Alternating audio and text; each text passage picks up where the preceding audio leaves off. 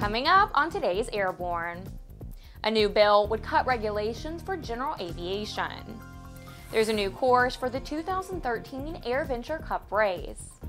And the X-47B makes its first carrier trap on land.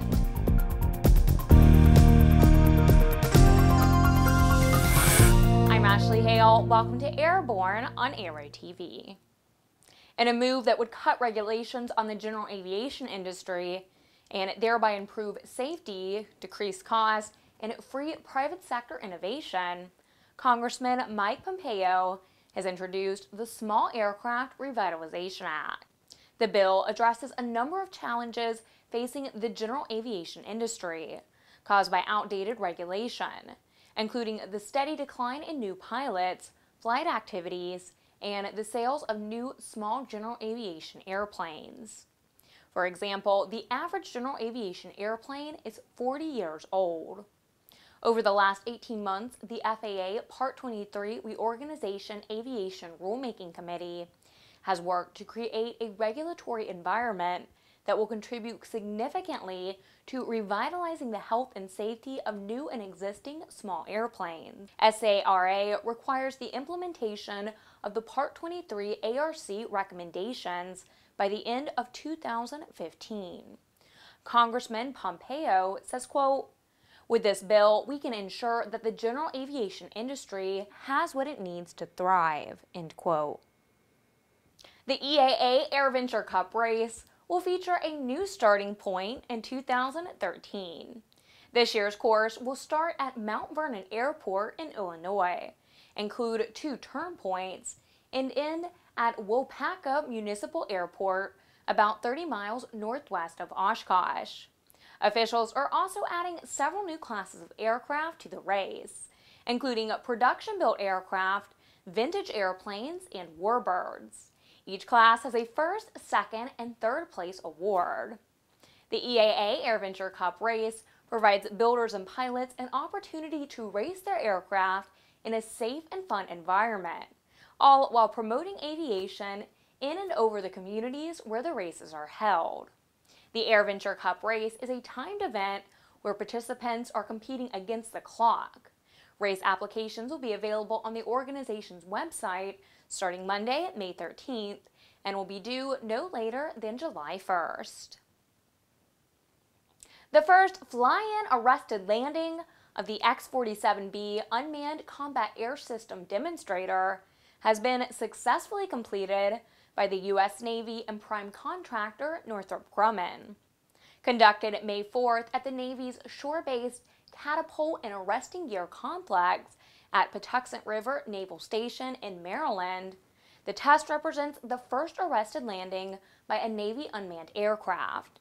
It marks the beginning of the final phase of testing prior to carrier-based trials planned for later this month. During an arrested landing, the incoming aircraft extends its landing hook to catch a heavy cable extended across the aircraft's landing area. The tension on the wire brings the aircraft to a rapid and controlled stop. The X-47B is a tailless autonomous aircraft designed with unique features for an unmanned aircraft, such as carrier-suitable landing gear and structure. While the X-47B itself will not be used for operational use, the UCASD program is developing a concept of operations and demonstrating technologies for use in follow-on unmanned carrier-based aircraft programs. A 30-year-old Michigan man is organizing a recovery team to rescue a downed B-25 from Alaska. This June, Patrick Mahalik from Brighton, Michigan, is planning to attempt to recover a nearly 70-year-old North American B-25J Mitchell bomber from a remote crash site. The World War II era bomber has been nicknamed Sandbar Mitchell. After serving her duties with the U.S. Air Force from 1944 to 1959, she was one of several B-25s used in Alaska in the late 1960s to help fight forest fires. On June 27, 1969, she experienced double engine failure and the pilot made a belly landing on a small dry sandbar in the middle of the Tanana River. He walked away, but the right wing was damaged and the forward fuselage was wrinkled. After removing her engines, propellers, and wheels, she was abandoned, though over the years she has been further damaged by souvenir seekers. Someday they hope to fly her as Sandbar Mitchell under the public trust for the nonprofit Warbirds of Glory Museum. A crowdfunding campaign has been launched on Kickstarter.com to help raise the cash needed for the recovery operation. The Canadian maple leaf is just a bit redder than usual, as Canadians are expressing their anger at what they feel is a backdoor attempt to move the ICAO from Montreal to Doha, Qatar. The Emirate of Qatar last month reportedly presented the ICAO with an unsolicited offer to move the agency's headquarters. Qatar offered to build a new headquarters building to pay for the moving expenses, as well as any termination expenses resulting from Canadians who might not want to move to Qatar, thus losing their jobs. The move would take place in 2016. The rumor is that the Emirate did not consult the Canadian foreign minister before presenting the offer to the ICAO. There is reportedly some political motivation behind the offer. The Qatari government is said to be critical of Canada's pro Israel position, and some Arab states have had differences with Canada on other aviation issues as well including requests for more landing slots for Qatari and UAE airlines in Canada that have been blocked by Canadian Airlines. The proposal to move the headquarters would require the approval of 60% of the ICAO's 191 member states. A vote will be held in September. You're watching Airborne, Marna moment.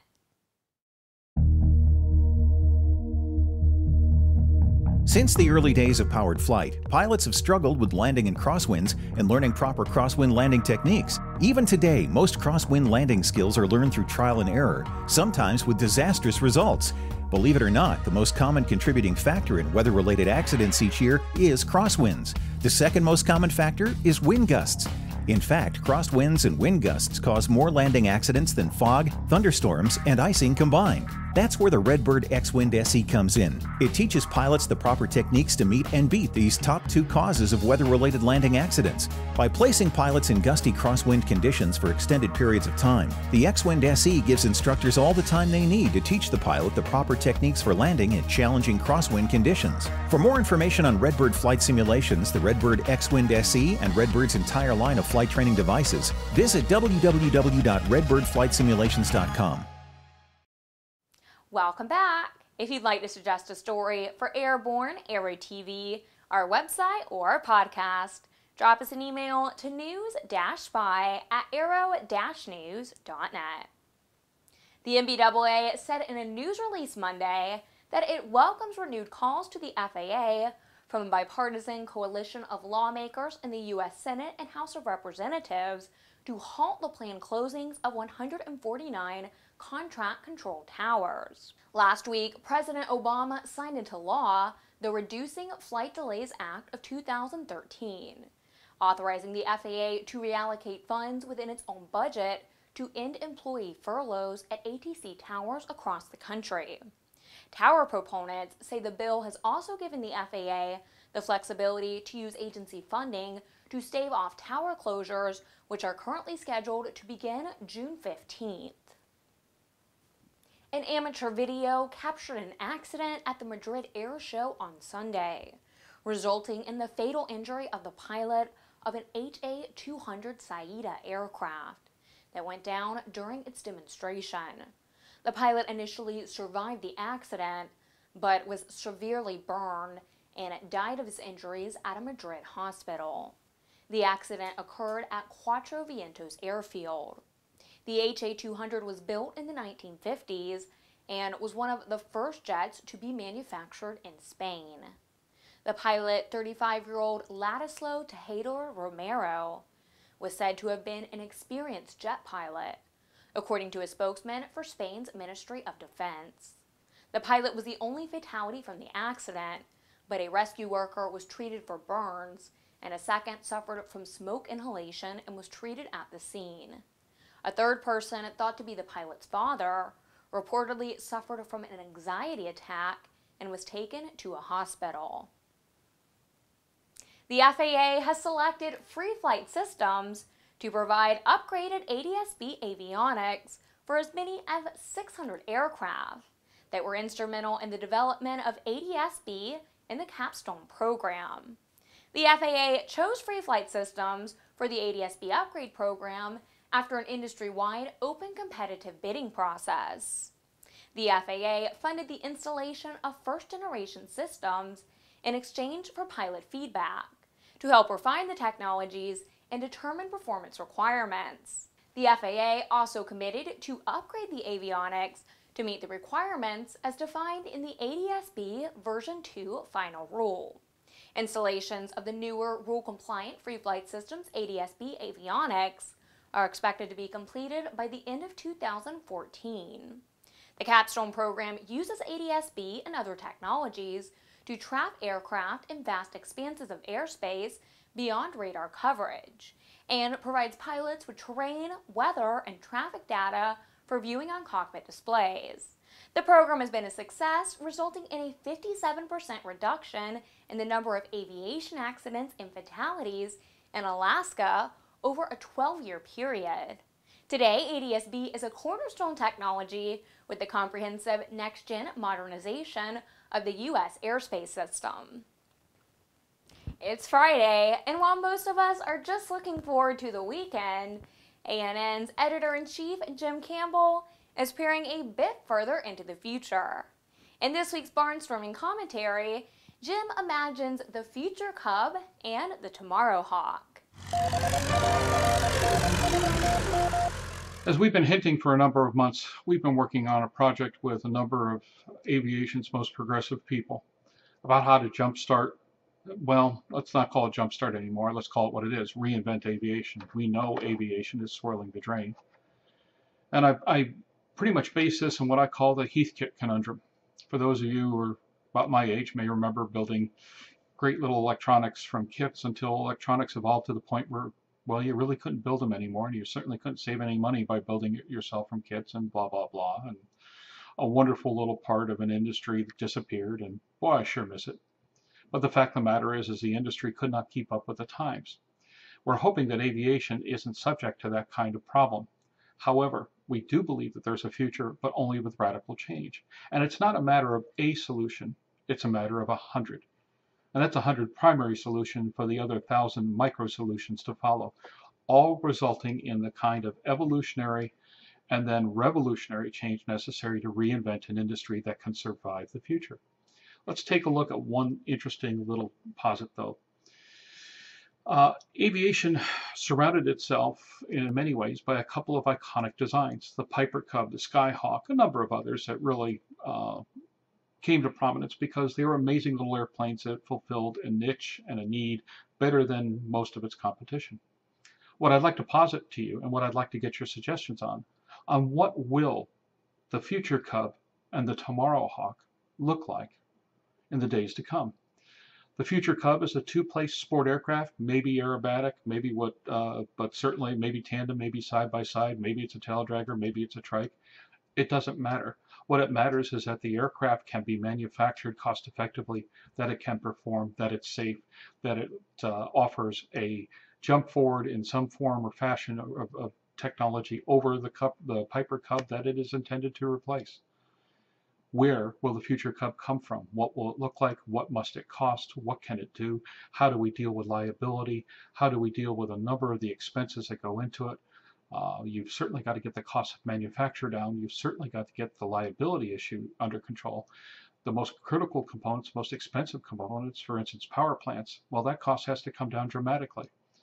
And the Tomorrow Hawk, a solid four-place aircraft, something that can go places and do things and do it cost effectively, when the typical Skyhawk these days goes out the door for well over $300,000, something's wrong.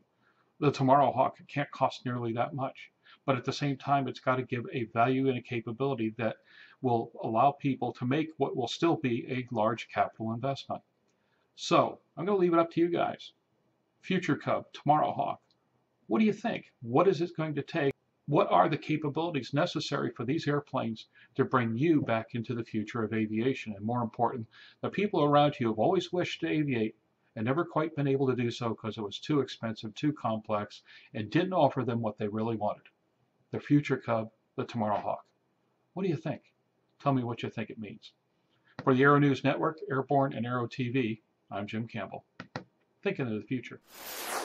The catchphrase, you go girl, has taken on new meaning at Sky Shuttle Helicopters Limited, as they have just announced Captain Meg Lam and First Officer Kirsty Holtkamp as the company's first ever all-female helicopter crew to operate flights between Hong Kong and Macau. Captain Meg Lam was born and raised in Hong Kong and joined Sky Shuttle as a ground safety controller. In 2002, when Sky Shuttle launched a cadet pilot program for Hong Kong and Macau residents, she was selected and then participated in a nine-month training course in Australia and graduated as a first officer. In 2012, Meg became a captain with Sky Shuttle, and now she has over 11 years of flying experience. First Officer Kirsty Holtkamp was born in the Netherlands. Kirsty has always been amazed by helicopters, but flying remained a dream for a long time, until she found a way to achieve that dream by training in the United States. Kirsty says, quote, I love to fly between Hong Kong and Macau.